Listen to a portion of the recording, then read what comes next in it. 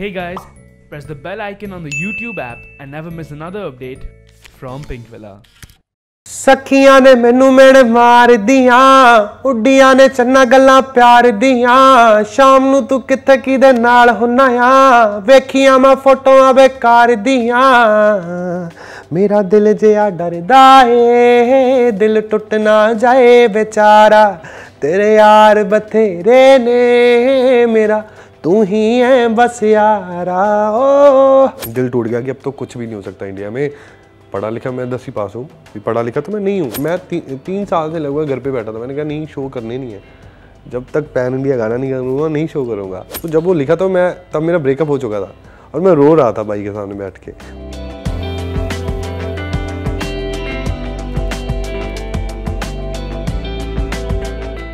हमारे साथ आज एक ऐसे पर्सनालिटी है जिनको रॉक स्टार कहना थोड़ा कम हो जाएगा क्योंकि उनका पिछला गाना था वो ऑलरेडी 300 मिलियन हिट करने वाला है और आप आ गए हैं नए सॉन्ग के साथ। मनिंदर बुट्टर हमारे साथ उनसे करेंगे आज थोड़ी सी गुफ्तगू। बात करते हैं स्टार्टिंग से एक्चुअली म्यूजिशियंस बोलते हैं कि कुछ एक इंस्पिरेशन होता है। व्हाट वाज योर इंस्पिरेशन पाँच छः साल का था जब मैंने पहली बार गाना गाया था।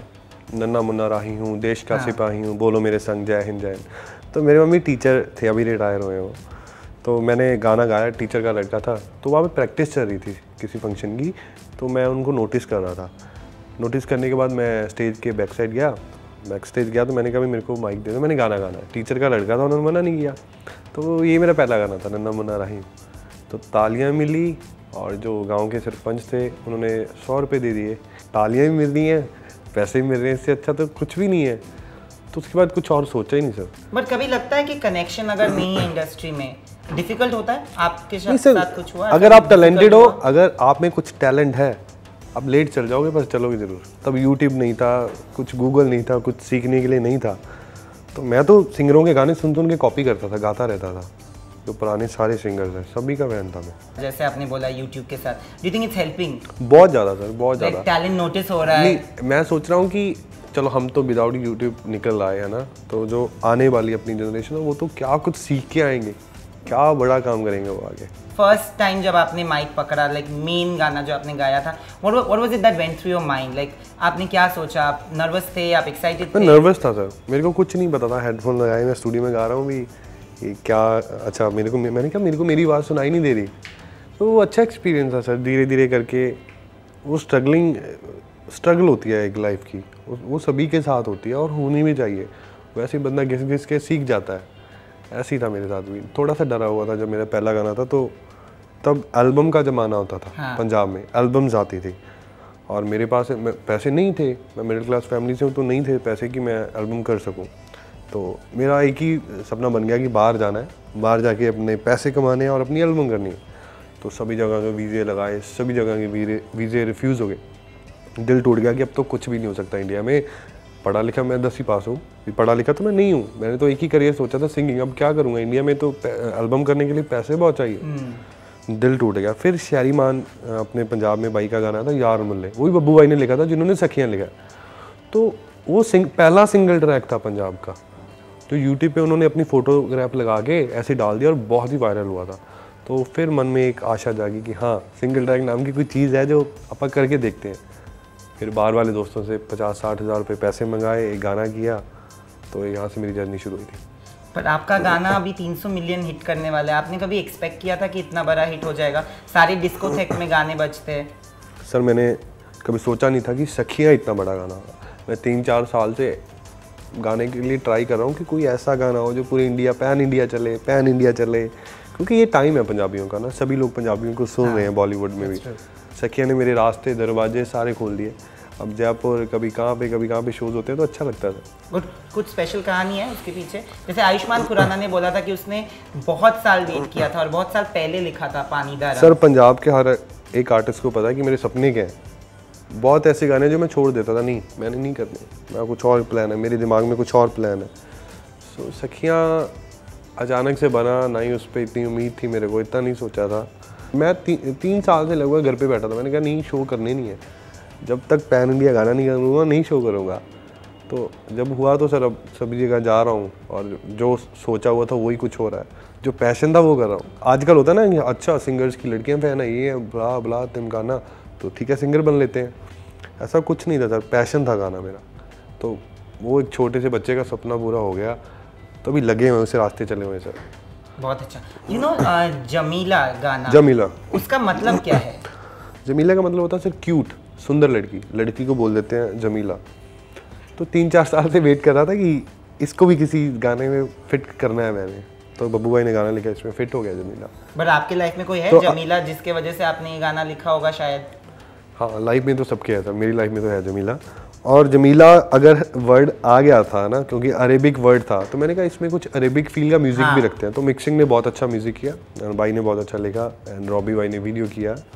एंड वाइटल के चैनल पे आया। यू नो कुछ ही साल पहले हम लोगों ने देखा कि दिलजीत दोसांझ ने कैसे आके यहाँ पे मतलब ही became an actor he singing similarly Jassi Gill is singing and acting do you also have such aspiration मुझे ये लगता है कि पहले मैं जो काम मेरे लिए बना है पहले वो अच्छी ढंग से कर लूँ। एक्टिंग ऑफ़र आए थे मूवी के सर तीन चार पंजाबी मूवीज़ के। वो तीनों चारों नहीं चली जो मैंने छोड़ी हुई है मूवी सो so, अभी तो अच्छे ऑफ़र भी आने लगे अच्छे प्रोडक्शन हाउस से ऑफ़र आ रहे हैं पर नहीं करना चाहता सर मूवी मुझे लगता है मेरे को पहले तो भगवान ने गाने के लिए बनाया ना तो हाँ। पहले उसको करना चाहिए।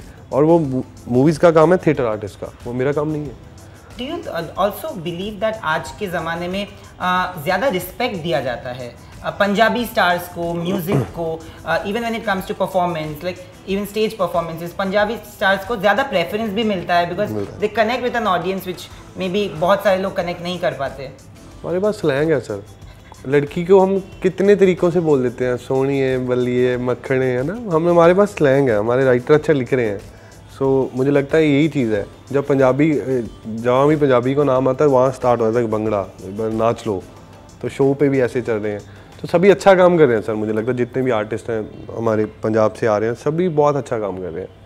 आपके पंजाबी आर्टिस्ट में कौन दोस्त है? मतलब किन के साथ आपकी एमी एमी मेरा सबसे अच्छा दोस्त है। एमी विर्क एमी विर्क हार्डी संधू सो जानी ये सब अरविंदर खैरा हम सब एक ही ग्रुप में रहते हैं तो वो भी तो एक्टिंग कर रहे हैं अभी हम Ammy Virk is acting in 83 Ammy को पहला ब्रेक ही बहुत अच्छा मिला था अंग्रेज़ का। हाँ। तो उसके बाद उसकी एक्टिंग स्किल्स बहुत हाई हैं। मेरे को जब आते हैं तो होता है ना बंदा अपने आप को झूठ नहीं बोल सकता कि मैं ये कर सकता हूँ या नहीं कर सकता। तो मैं जब भी कोई चीज़ आती है तो मैं अपने मन में सोचता हूँ अच्छा मैं ये कर सकता हूँ तो मैं नहीं कर सकता अभी। मेरा काम नहीं है। मैं तीन चार मिनट का गाना कर लूँ बहुत है मेरे लिए।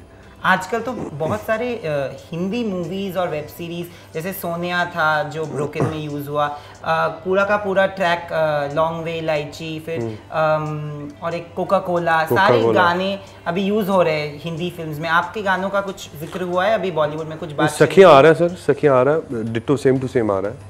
कोई उसके उसमें चेंजेस नहीं है। वो सेम पंजाबी गाना जैसे है वैसे ही आएगा। सो so, ये बात अच्छी है कि जहाँ पे मेरा गाना जा रहा है वो डिटो आएगा। अच्छा बट अभी आपको भी ऑफ़र आया है हिंदी मूवी में गाने के लिए या कुछ ऐसा कुछ? नहीं आ रहे हैं सर ऑफ़र तो आ रहे हैं हिंदी मूवी में गाने के लिए। जब सखियाँ आ जाएगा उसके सखियाँ आया नहीं उससे पहले ही दो तीन ऑफ़र और आ, आ गए हैं। और गाने जा भी रहे हैं इधर से मेरी तरफ़ से मैं बना के भेज भी रहा हूँ। बाकी पता नहीं सर कब आएगा क्या होगा। कुछ एक ऐसा गाना है मतलब जो दिल से निकली हुई है या फिर अभी तक आपने लिखा है पर गाया नहीं है या फिर प्रेजेंट नहीं किया सर सखी है दिल से निकला हुआ है। कितनी अच्छी कम मैंने जब बनाया था तब मेरे को नहीं इतनी फीलिंग नहीं आती थी अंदर से। ठीक था मैंने कहा ठीक है नॉर्मल अच्छा गाना है। पर अब कभी कभी देखता हूँ कि यार इतनी रीच लेगा गाना। तो मेरे को लगता है यार मैं अच्छा कंपोजर बन गया हूँ अभी अच्छा कंपोज कर लेता हूँ मैं। दिल टूटा है कभी? हाँ, अक्सर लोग बोलते हैं कि म्यूजिशियन का दर्द तभी आता है जब नहीं मेरा जब मैं पंजाब में मेरे को जब लोगों ने सुना मेरा गाना एक वहाँ आया था यारी बड़ी सौखी तोड़ गई वो शरीमान भाई ने देखा। तो जब वो लिखा तो मैं तब मेरा ब्रेकअप हो चुका था और मैं रो रहा था भाई के सामने बैठ के और वो गिटार बजा रहे थे। मज़ाक में कहते यारी बड़ी सौखी तोड़ गई। तो वहाँ से गाना बन गया। Thank you for coming thank so much, sir. Lovely lovely talking to thank you so much sir and for everything else keep watching Pinkvilla